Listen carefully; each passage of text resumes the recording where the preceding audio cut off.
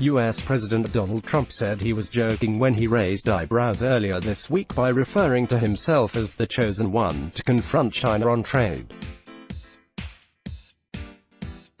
Trump spoke to reporters on Friday as he was departing the White House for his trip to the G7 summit in France.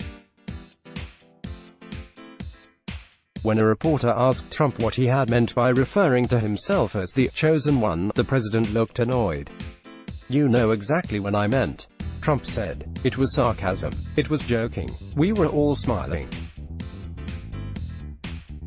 And a question like that is just fake news, he added. During his remarks on the South Lawn of the White House on Wednesday, Trump claimed he is the chosen one to confront China on trade, a title often used to refer to religious figures in Christianity and Judaism. Trump's erratic rant has renewed calls for him to be removed from office.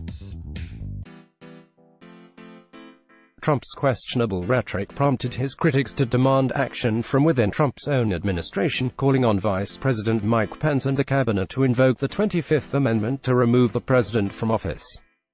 During his half-hour rant on Wednesday, Trump also managed to insult the Danish Prime Minister, insist he wasn't racist and warned American Jews not to vote for a Democrat at next year's presidential election.